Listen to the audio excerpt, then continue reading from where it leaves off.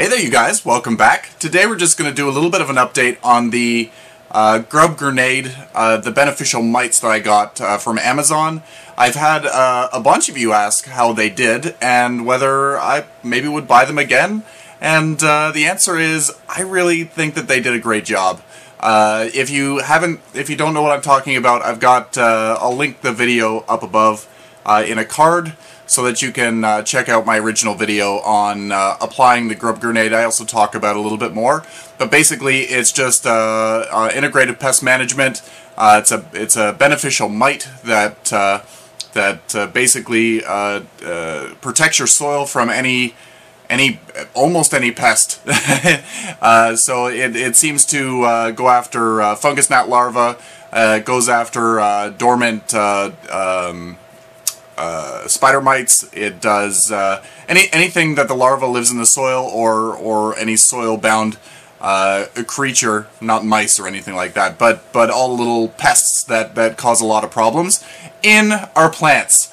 Uh, so what I've noticed, uh, again, I, I, applied these in the fall uh, as I brought everything in, probably not long after I brought everything in. Uh, so uh, what I've noticed is a lot less fungus gnats. Um, about a month after I applied them, it almost seemed like the fungus gnats dropped considerably. now the only place that I have fungus gnats breeding are the, the new pots that I've, I've planted, and they're up away from anything else. Um, actually, the ones that are on my potting bench, they have little fungus gnats in there because uh, I keep them constantly moist, and uh, they seem to love it. But that's the only place that I've seen fungus gnats. Uh, so any of the uh, the plants behind me, they don't seem to have anything. I put the sticky cards on, and initially, obviously the sticky cards were, were catching things, but now I, am not noticing a difference on the cards. So they're, they're doing a great job. I have not noticed any whitefly this season, which is incredible. Usually by now, I move a leaf and whitefly just plumes around. It's crazy. Uh, same thing with fungus gnats. By now, it would just be, I'd be breathing and I'd be uh, getting a fungus gnat in my nose or in my throat. It would be just gross. But I don't have any problems right now. Um, spider mites, when I first brought uh, uh, my plants in, obviously it was getting cooler outside, so the spider mites would have been more in the soil. So uh, that I have, I did notice a little bit of an outbreak of uh, spider mites, but it was very, very easy to control. Unlike other years, basically the second I bring plants in, uh, it turns into just this battle. Uh, which is ridiculous. And this year I haven't really noticed that. I've, I've, again, very, very small outbreaks. I've been able to control those very easily. Uh, comparatively, um, I'm noticing uh, because it's controlling stuff in the soil, I'm noticing that uh, my plants are doing much better. Uh, the only thing that I, I have noticed is thrip. This year has been the first year that I've experienced thrip in the house, uh, and it has been a pain in the butt. I might have had it last year, but I didn't control it. Uh, but this year I noticed it on my, my big um, alocasias. So uh, noticing a lot of flecking on the leaves. But that seems to be, I've been washing some of the leaves and spraying with an insecticidal soap, my homemade stuff, as well as a, a concentrate that I purchased at the store, uh, just to try to uh, control those guys.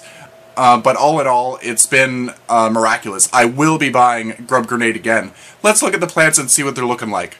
So those of you who have followed me for a number of years knows that around this time of year, uh, my elephant ears are looking really worse for wear, and the leaves are getting smaller, and uh, they might have one or maybe two leaves on them, and they, they just, they look so sad. Uh, but now, this year, they're very, very lush.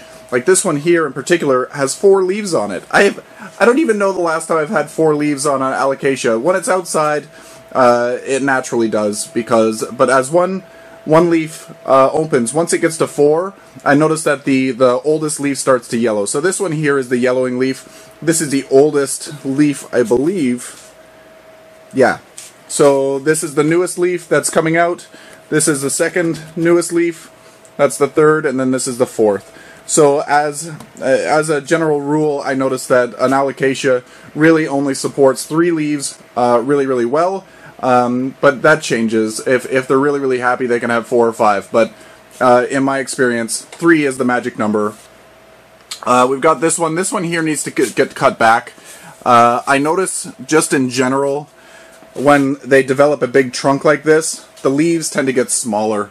At least, at least for me in my care, that's what happens. So what I'm going to do is once they go outside for the spring, I'm going to cut it off probably here, uh, and then I'm just going to uh, remove all of this husk. And noti you'll notice there's some uh, some little nodes here. They're going to start to grow uh, from these nodes. It's going to produce all kinds of roots, and the plant is going to get a, a new a new vigor that it's lacking right now. And the new growth is going to have bigger leaves, nicer leaves, and uh, just the look you probably want. So usually by now the offsets are, are uh, kind of drying up, but right now uh, I've actually got offsets that are starting to produce nice leaves, uh, which is incredible. I, uh, in all honesty, that normally doesn't happen for me. Uh, by now, again, things look like garbage. And this one here is another one that has four, this one actually has five leaves on it. This particular one, here's a leaf, here's a leaf. Uh, that's also part of this plant. This one is also part of this plant. And then this one here, this is probably the oldest leaf. And this one is going to uh, uh, get cut off very soon. This one actually still has uh, signs of thrip damage. Be able to see the, the, the mottling on the leaf. It's also because it's an older leaf. Um, but yeah, I'm not noticing any thrip on there right now, which is incredible. I love it, I love it, I love it. Uh, this one here underneath, this is my Macrorrhiza lutea, the beautiful golden one. Um, this one I thought was going to die uh, in the, the early season. After bringing it inside, everything seemed to uh, kind of go to go to hell, uh, for lack of better words, and uh, it started to do beautifully again. I think it had um, it had thrip for sure, uh, but I think it had um, maybe maybe a spider mite infestation. I'm not sure, uh, but everything just dried up and and I couldn't keep it alive. And then uh, after about a month, maybe two months of having the mites in here, uh, they just started uh, flourishing again, and I got little offsets. I don't know whether you're able to see, but there's a little baby there. There's another little baby coming out over here uh, right there by my finger. And this is the sticky card. Uh, this sticky card has been there the whole season, so as you can see, there's not a lot of fungus gnats, but it's catching adult fungus gnats. Uh, the mites do the job at, at killing the larva, eating the larva right up, so yeah. If you can catch the adults, it means less larva in the soil. Uh, and, and same thing, like these new leaves are, are growing beautifully. I love how these are growing. And this serendipity, I love the thick leaves. This one is a really resilient plant. I didn't notice that this one had too many problems uh, as it was, but but I guess at the root level, it's much happier. Uh, so I'm getting nice nice size leaves. Again, by now, this this leaf would have been half the size, uh, and uh, I'm I'm really really impressed.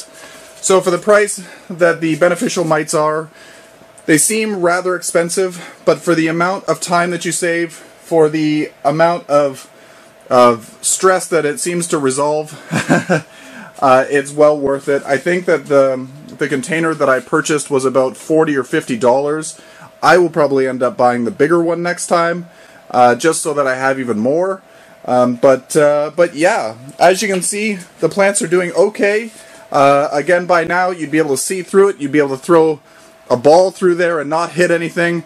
Uh, but it's it's it's looking pretty good. I'm going to be very confident putting these outside in the springtime, which is right around the corner. Uh, so anyway, show me what you're growing. Uh, uh tag me in Instagram, and uh, yeah. Until next time, you guys. Happy growing.